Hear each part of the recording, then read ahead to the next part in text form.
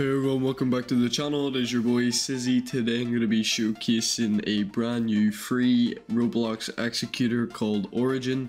But before we get into today's video, make sure you drop a like, comment and subscribe. Don't forget to join the Discord. Link to that will be in the description as always. And yeah, let's get straight into the video. So first of all, what you guys want to do is head on over to the link in the description. That will bring you to my site. And from here, what you guys want to do is go over to WinRAR. I'll also leave a link to this in the description as well. And you want to download WinRAR just like I have there. It only takes a few seconds and we'll just install to my desktop or you can install to whatever. Uh, I'll get a black screen here, but you want to press yes. And then you want to press install, press OK, and done and you'll get a pop-up like this here. You can just close it and that is WinRAR installed and you'll need WinRAR to extract the executor. You'll need this for every single executor that you download. So just make sure you download that. And from here what you guys want to do is go to the executors page. You can click here or up here. So we're going to press that and once we get to the executors page we're going to be searching for origin which is right here and we're going to press on the download button but there is alternatives like KiwiX and Kernel which are free and then Synapse X is paid. So we're going to be pressing download on Origin, it'll bring you to here.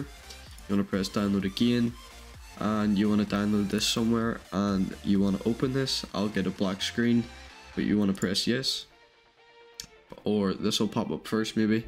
Uh, more info and run and then press yes on the black screen that I get. You'll not have a black screen obviously. And once you come here you want to press next and you want to just go through this quickly. Um, just do what I've done. Now it takes a few seconds and once you get here press open. Now I uh, cannot download it without using a VPN I'll show you why I don't know it's just something with my internet settings so we're going to connect the VPN really quick and we're going to download it straight to the desktop Oh, we can turn that off again. So it should be on our desktop. Um, there we go, it is installed. So this is what it should look like. If you have WinRAR installed, you want to right click on it and press extract here. And you'll get another file and you want to open that up and you want to run Origin now this is what will happen if it is out of date. I'm just going to show you guys what you do when it's out of date. It says you're using an outdated version, run the bootstrapper so we can close that. Run the bootstrapper and it should open like this. This is the updated one. It should be 1.6 I'm pretty sure. So it'll tell you when you're in Origin but yeah 1.6 so you'll need to get a key so press get key. And from here just type in the uh,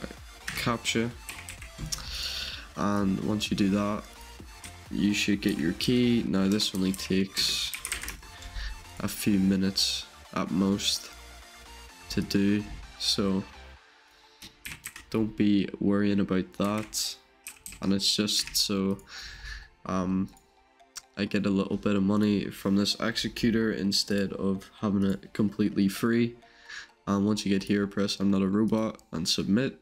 Copy your key and paste it into your executor. This should pop up, press OK. And this is what it looks like. So I'm just going to show you the options. So you've got home, which is this bit here. And you can make all different tabs.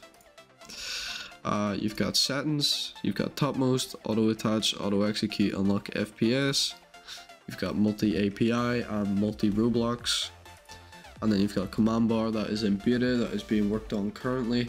So um, you can use that if you want, there's only a few commands. Then we've got games. Uh, you can scroll down the list of games, but there's like quite a lot. And I will be adding a lot more as time goes on. Then we've got these scripts here.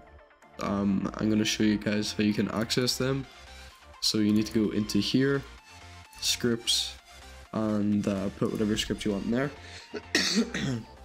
so once you put all your scripts in there, um, it will show up in the executor here.